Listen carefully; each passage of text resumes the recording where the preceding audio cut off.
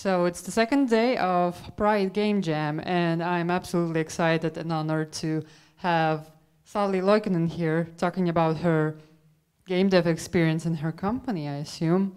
Yeah. Especially since I have worked with Salli before and studied with her, so I am a long time supporter of her cause and company. All right, I will not um, occupy the space anymore. This is for you now. All right. Thank you. Sorry, I clapped in the mic. Well, I have my own mic. All here. right, sorry. All right. Then I'm done. All right. Hi. Um, as Celia said, I'm Salli Loikkanen, and I'm here to talk to you about queer stories in video games, and especially uh, games released by my indie games company. So, Lizard Hazard Games is a very small indie company based in Kouvola, Finland, and um, it's basically just me officially, but I have a lot of people working with me on different projects as like freelancers and so on. And we have released three commercial games so far, um, and I'm going to talk to you about them and about the queer characters and stories. Uh, but to start with, just a little note about the word queer. I know that not ev- everyone likes to use the word, but because it has been used as an insult in the past.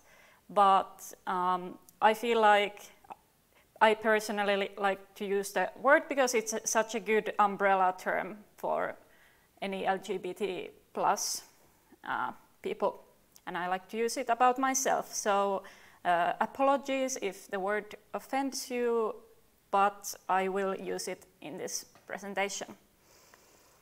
So first of all, uh, my company's first game, um, Your Royal Gayness, which started as a school project while I was studying in XAMK, uh, which is um, applied university school in the Kouvola and other parts of uh, eastern Finland.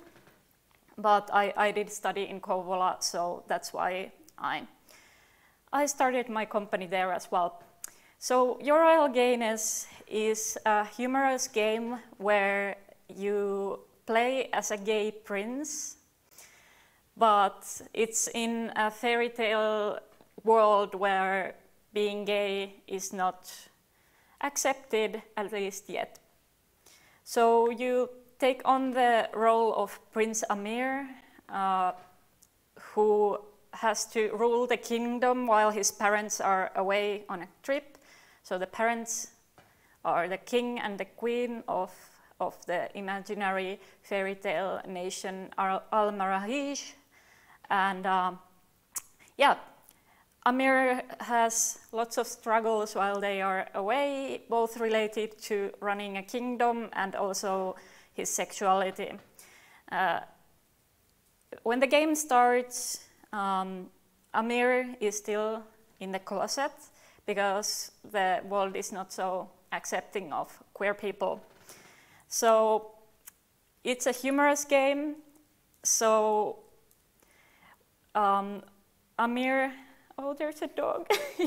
Sorry, there's a dog on the stage. Anyway. um, yeah, anyway, so Amir has to. Uh, so there are these princesses who want to mar- marry the prince because, of course, they want to be the queen someday. But since Amir is gay, but can't really just say like, "Oh, I'm, I'm sorry, I can't marry you because I'm gay," um, so he comes up with some excuses so he doesn't have to get married. So you basically just come up with these really weird and funny excuses so you don't have to get married. Um, and um, so Amir isn't alone, which was really important to us when uh, making the game, that he isn't alone with his struggles but he has three advisors who know that he's gay and who support him. And this is one of them, Barry, the court wizard, who's totally not a lizard, um, just normal, normal human wizard. So the game is a visual novel type of game, but it does have some gameplay elements to it. As you can see uh, on the screen, there are some um, resources and a meter. And um, yeah. So the game is really light-hearted and funny since it's like a humorous game, but there are also some a bit darker themes related to like homophobia and so on. Let me check my notes real quick. So um, the queer experience is told through the story, of course, uh, with, with Amir talking about his sexuality and his struggles with his advisors and so on. But it's also conveyed through the game mechanics. Uh, so the meter you see on the screen is the suspicion meter, which sort of portrays how suspicious people are of Amir being gay. And um, this has been sort of a controversial feature in the game because, yeah, it's kind of like horrible that you have to stay closeted and, and sort of act uh, as if you were straight. But the, um, the real reason we, why we included this feature is because we wanted to point out these absurdities that are still in the society in ma many countries, uh, where, where some, in some situations you just have to be in the closet and being found out can be dangerous. So that's something we wanted to sort of highlight with the meter. So the game sort of simulates the experience of being closeted, wanting to come out, but, but the time is not right for that, and, and so on.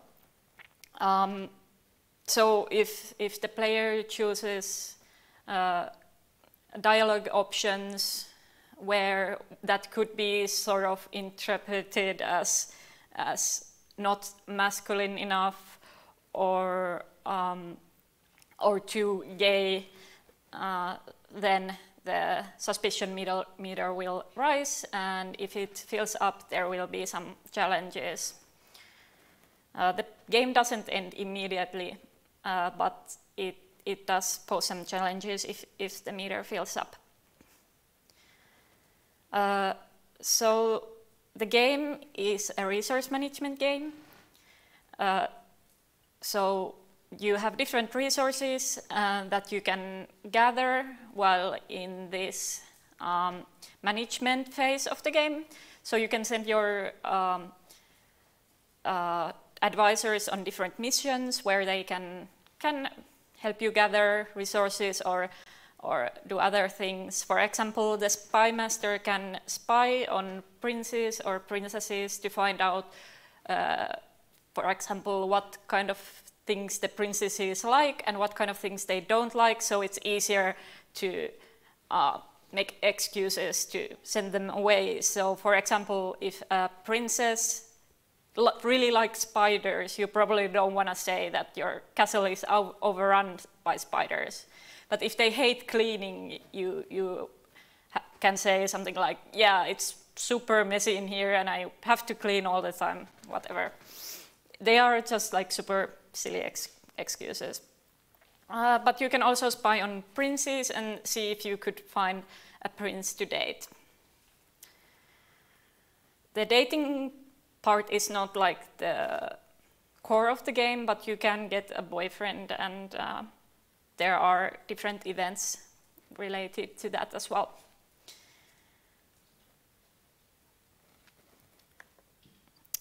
So your Royal Gayness is on Steam and just wanted to show you that um, I'm really happy and proud that it's part of the Queer Games bundle with super cool games like Tacoma and uh, uh, what else is there? Gone Home, yeah, all sorts of cool games.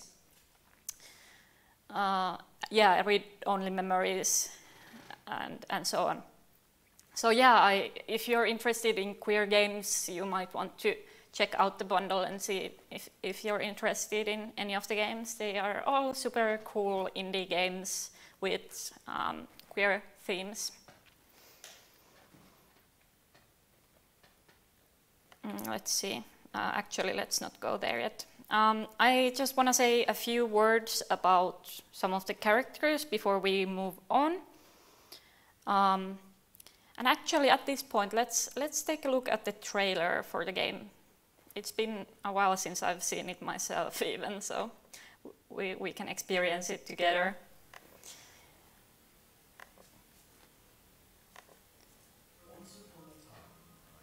there was a handsome young prince. His parents left him in charge of the kingdom of Al Maharaj. But even with his trusted Yeah, advisors at his side, he was lonely. So they promised to help him find a beautiful prince.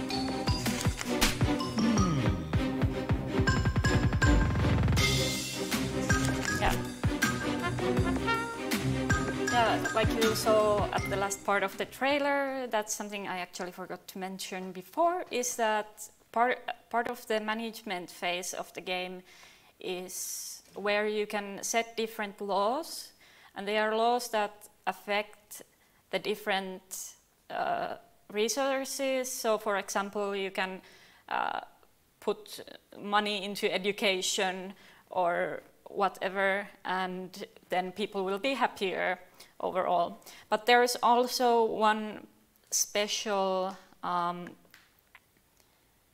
very special sort of um, law tree or, or like a progression of uh, laws where you can um, make laws that have to do with e- equality. So laws where, where for example, it's the um, laws banning like discrimination based on uh, sexuality or or ethnicity or whatever. Uh, and like at the last last one of those laws, it's uh, sort of difficult to get to that point, but you can legalize gay marriage in the game. So at the end of the game, it is possible for for the main character to come out um, there are also different endings based on you, how you play. Um, uh, for example, whether you were like an evil ruler or a good ruler, and based on the choices you made in the game. Because the ga- there are a lot of choices in the game, it sort of consists of these mini story arcs where you have to make decisions uh, that have to do with running the kingdom. So, for example, there is one choice where Amir decides to let his hair grow out. So at the end, you you'll get a super cool um, picture of him with like flowing hair and stuff. So there's a lot of like really fun small details like that. Um, let's see. Uh, at least one more thing I want to talk about uh, with this game is the letters that the player can receive. So for and also send. So for example, when the player passes a law, let's say something that has to do with equality, uh, the player usually gets these letters from the people of the kingdom usually some that are like uh, for the change and some that are against. So it really feels like you are making differences in your kingdom. For example, if you legalize gay marriage, there will be some letters that are like really angry, like, and some that are really great. For for example, one where there's this old uh, gay couple who have been like together for years and years and years, but they haven't been able to show it because it's been illegal to to be gay. So when you legalize gay marriage, they're like super happy that they can finally get married after years or even de decades.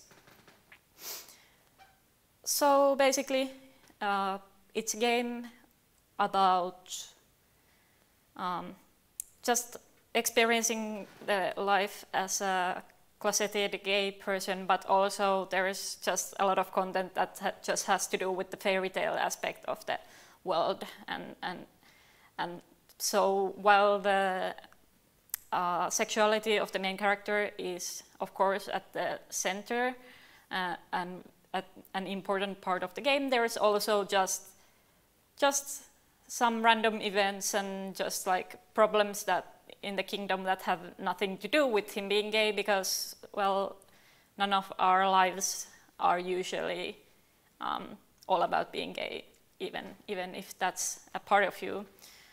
So, yeah, just wanted to sort of create this humorous but still kind of insightful uh, game about, about one type of queer experience.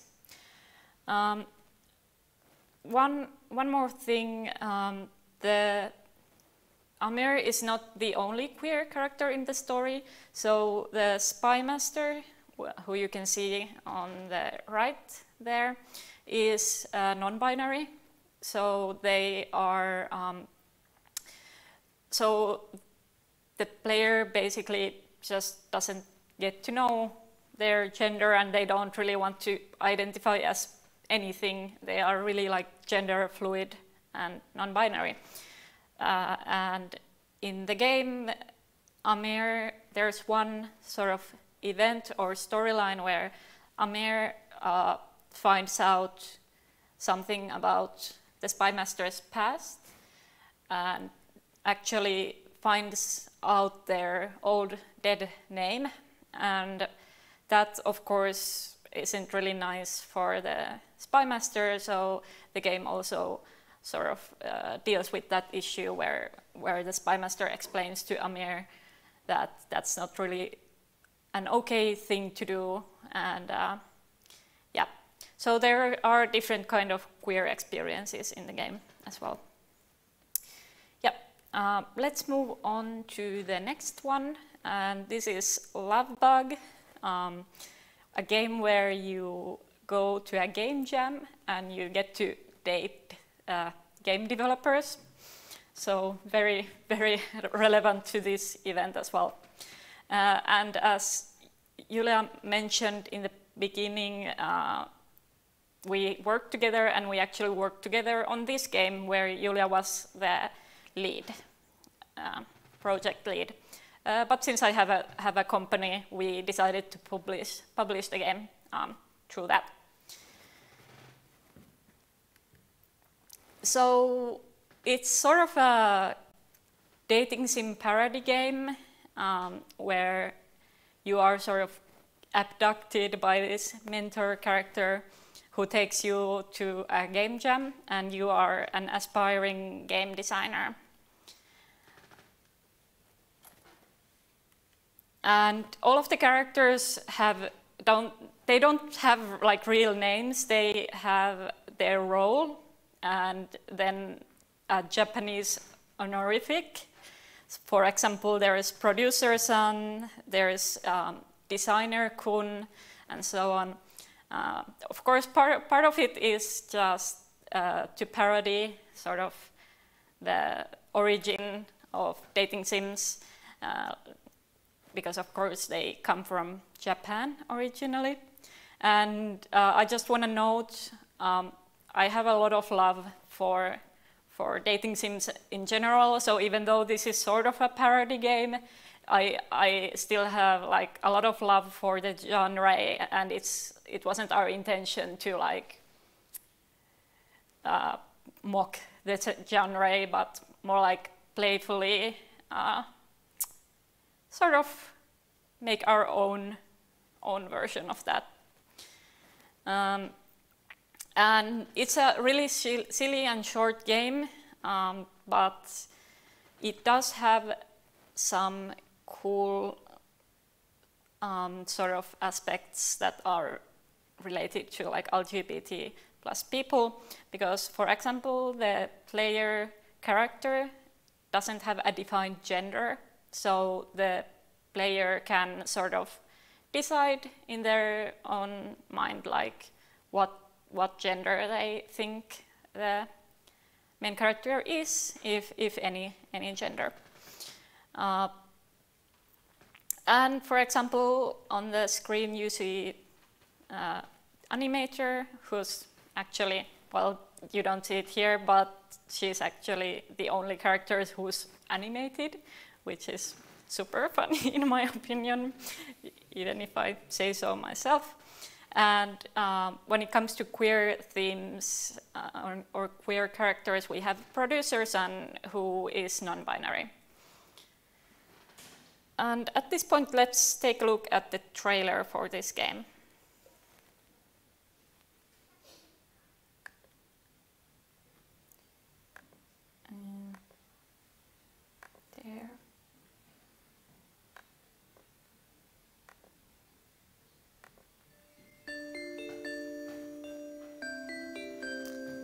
The quality is kind of bad, but I guess you can see well enough what's happening.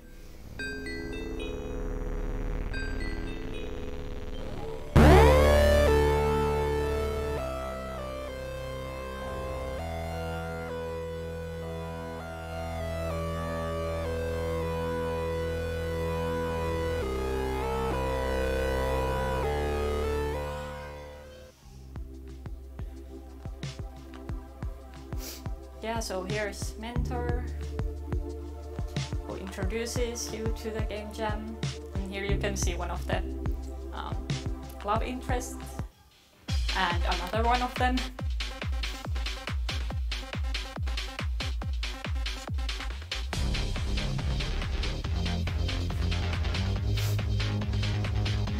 Yeah, so there you can see the animator who's the only animated character yeah, in the game you also fight bugs, literally, while you make your jam game.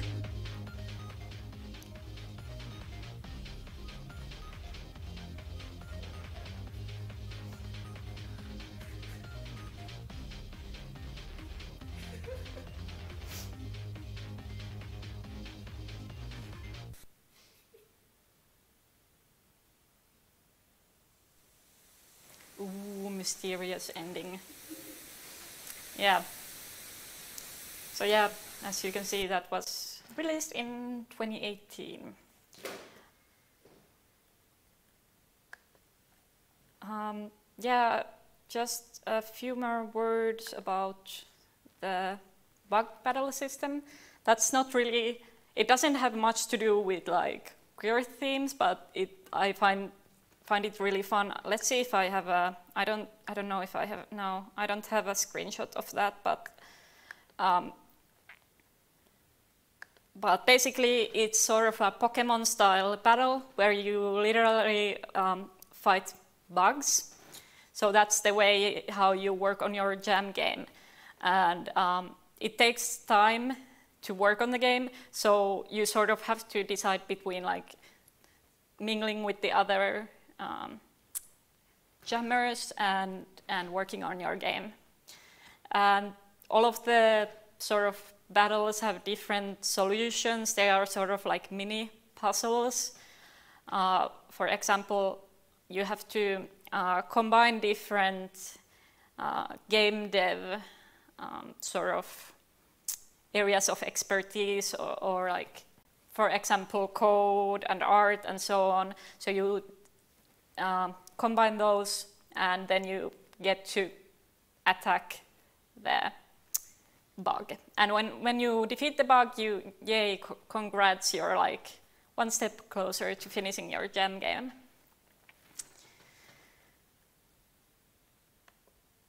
And yeah, here's the map of the sort of jam area.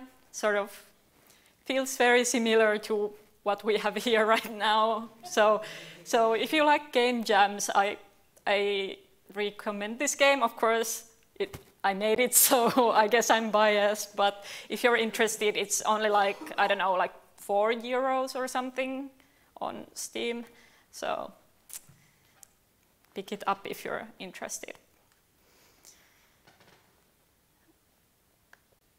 And um, the latest game that I released actually just a few weeks ago is called Lovingly Evil, uh, the big bad dating sim. And sort of as the game uh, name of the game suggests, it's a um, game where you get to go to a event that's like a for a conference for villains, and you get to meet the other villains, you get to make your own villain character, and you can even possibly date the other that is.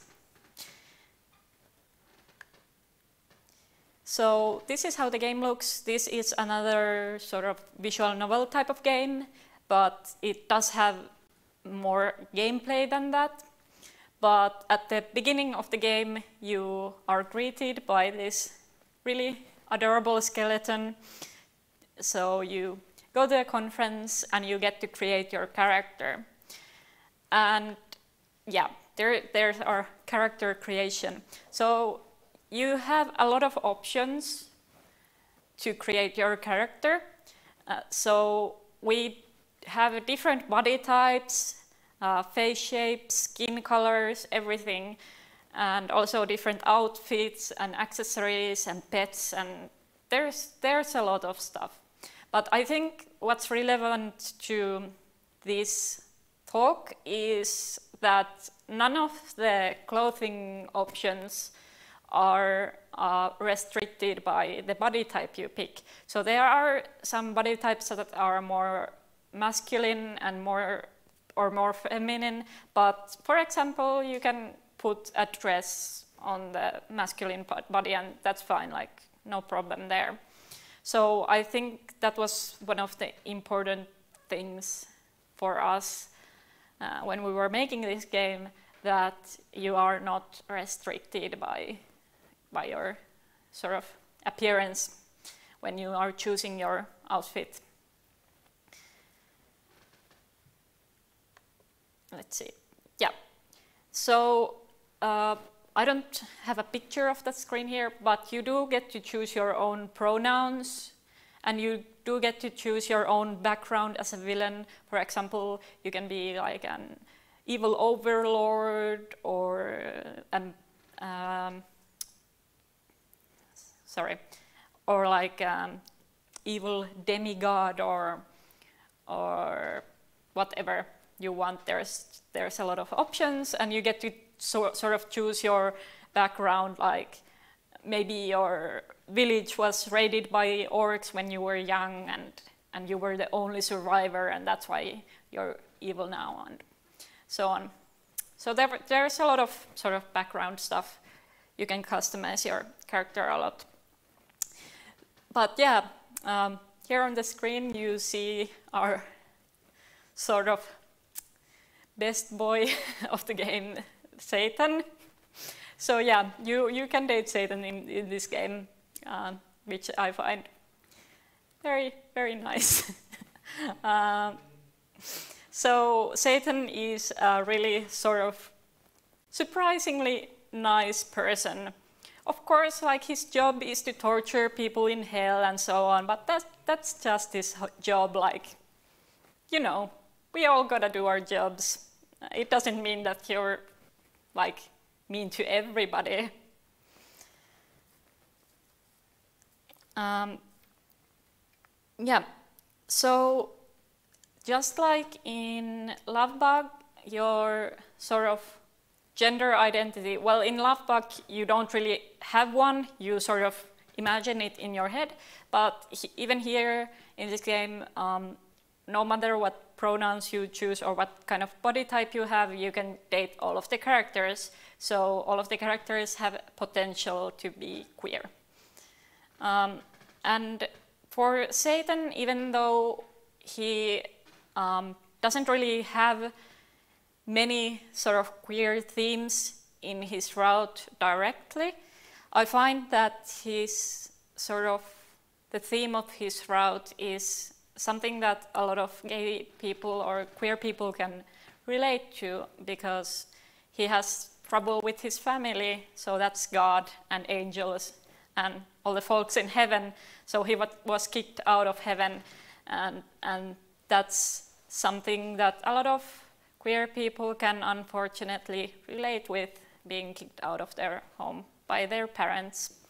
So um, one, some of the choices that the player can make in his route are have to do with like uh, do you want to stick with your sort of biological family or if you want to make your own family like a found family? And that's also something a lot of queer people sort of can relate to like that you're even if your own like blood related family doesn't accept you, you can find a family from your friends and so on. Uh, the next uh, love interest that we have in the game is the cute anime robot. Um, her name is Nova and she was built by uh, Dr. Leon E. Everscum, who is the mad scientist. Uh, and sort of the twist of the character is that even though um, Leon created Nova to be his assistant and his wife, actually, and he's really into anime and stuff, so he created her to be sort of his ideal partner, the ideal woman. Um, but uh, as time went on, Nova started to, since she is uh, like a real working AI, a true AI, so she is capable of learning. So she started learning about the world and realized that sort of her original programming wasn't really that great. And she downloaded stuff from the internet, like patches and so on. And she developed her own personality. Uh, and Nova is actually one of the most intelligent characters in the game. Um, she has basically all the information in the internet. Uh, she loves reading Wikipedia and so on. And she likes to do research, uh, and the player can help her with that as well. And uh, some of the queer themes that we do have in this route are related to gender identity because Nova was created to be sort of the ideal woman, but uh, she actually doesn't really identify with any gender uh, because she is a robot. She uses she, her pronouns because that's like the easiest for her. And since she needs to sort of hide her identity from uh, Dr. E. Evers, Leon E. Everscum, um, so she sort of dresses feminine, looks feminine, uses she, her pronouns, but um, she, she doesn't really identify with any genders. And this is something that's sort of one of the core things in her route. Uh, and of course, it's, about sort of the expectations that there are when it comes to gender and so on, and also um, sort of uh, Dr. Leon is sort of this incel type of character who who thinks that uh, women are something that can, be owned and and used. So this is sort of something where Nova breaks away from that. And she does have a happy ending. Uh, spoilers. But you gotta find, play it to find out uh, what exactly happens. Uh, so the next character is the evil stepmom, uh, Imperium Massard. And uh, she doesn't have a lot of queer themes related to her route, but there are some themes that queer people can relate to again, because there is lots of stuff about her family, because she, of course, has a stepdaughter. Well, how would she be a step stepmom without one? So she sort of married this king when uh, when she was young, and the king already had a daughter from a previous marriage. Uh, and then the king died, and she got stuck with the child. And ever since, they have been sort of at odds with each other. Um, then we have Felix von Gloomheart, who is the sort of classic vampire character in the game. Uh, just a sec. Mm. I just want to check the time. Can somebody tell me the time, actually? I don't want to... Okay. Good. So, yeah.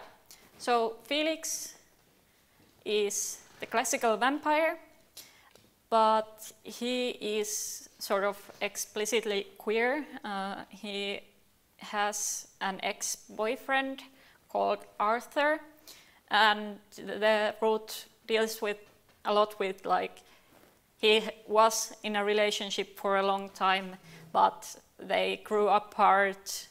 Uh, Arthur wanted to uh, sort of give money to charities and he didn't want to drink human blood, he only wanted to drink animal blood, um, and so on. So Felix was like, uh, no, this is not going to work, because all of these characters in the game are actually villains. Uh, Felix hunts people, he's a vampire. Um, there are no redemption arcs.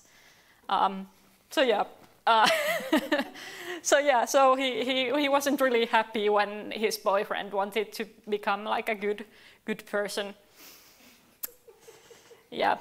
Um, and yeah, there, there's a lot of stuff he talks a lot about his ex, ex-boyfriend and so on. Uh, yeah, just wanted to say one more thing about this game. It does have a lot of gameplay elements so each uh, love interest has a minigame associated with them.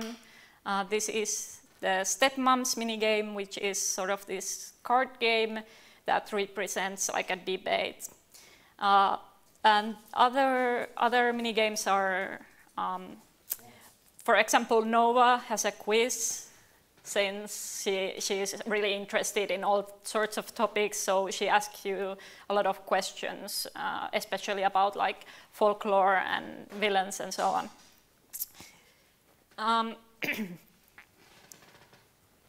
yeah, and uh, and for example, Satan has a mini game where you grill stuff on Hellfire. He has a grill, um, and so on so yeah, if, if you're interested, you can also find this game on Steam.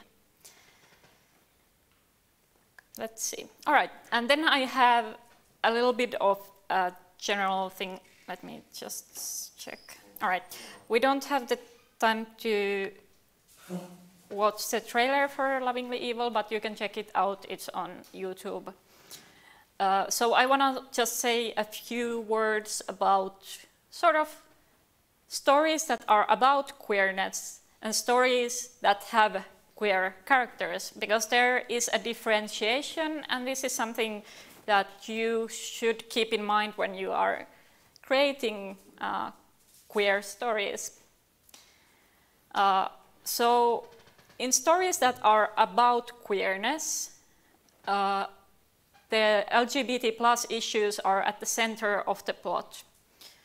So, for example, in Your Royal Gayness, uh, Amir's sexuality is like a really integral part of the plot.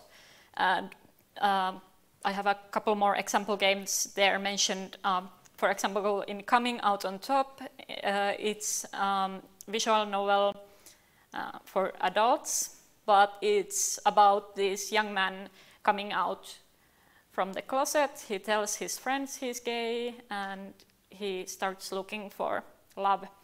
And in that game also, it's very, very integral part, of the plot, like the gay identity and, and the gay experience. And Magical Boy, which is actually a webcomic, which is about a um, person who was supposed to become a magical girl, but they are trans, so he becomes a magical boy instead. And uh, stories that are about queerness often uh, depict um, LGBT plus struggles, such as dealing with homophobia or transphobia or whatever. It doesn't have to be about the hardships, but often these stories are. Uh, and stories that have queer characters but aren't inherently about queerness are stories where the characters just happen to be LGBT plus and then the story is completely about something else.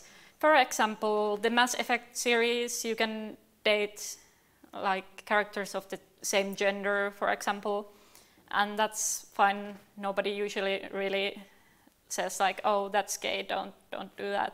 Or Overwatch, where some of the characters are gay, but it doesn't affect the story or the gameplay much at all. Uh, there's usually less focus on the LGBT issues and more focus on, for example, a fantasy story or whatever uh, the game is about, or like action or other kinds of game mechanics and story content.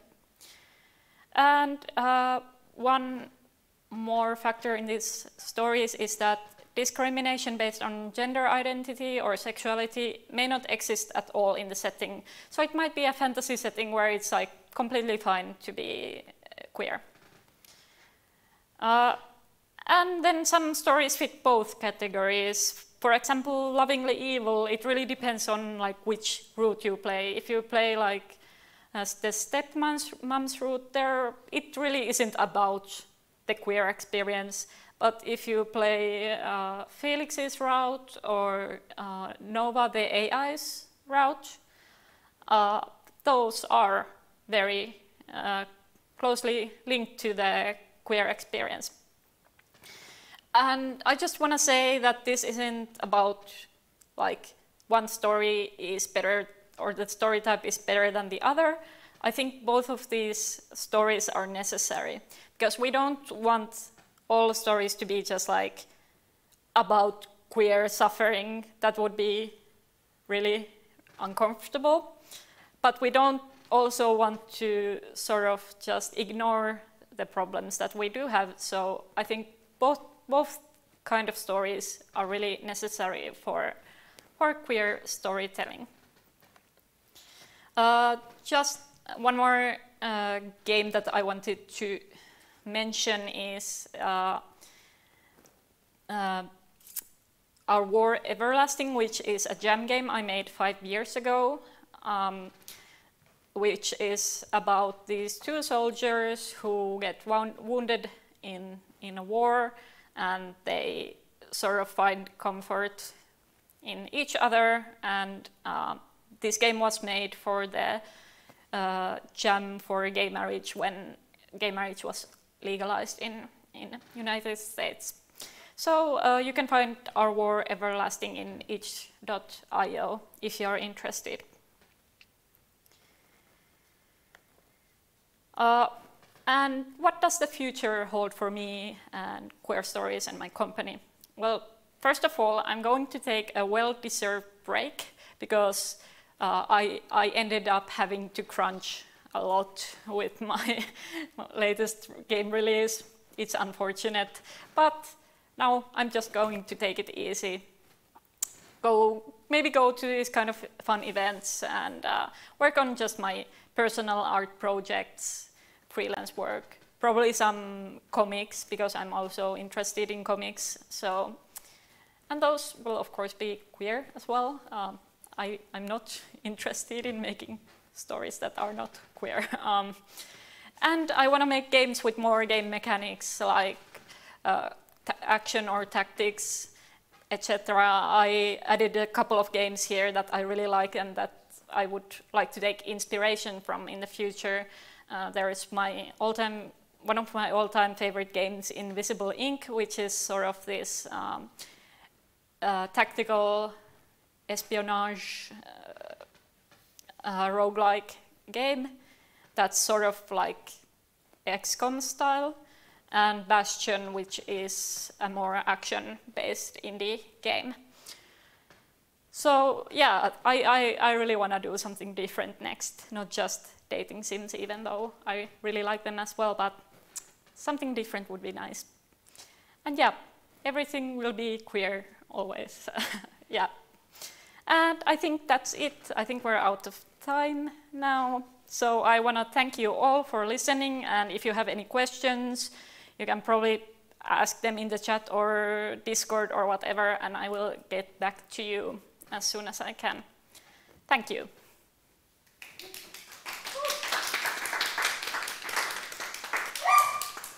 yes. all right.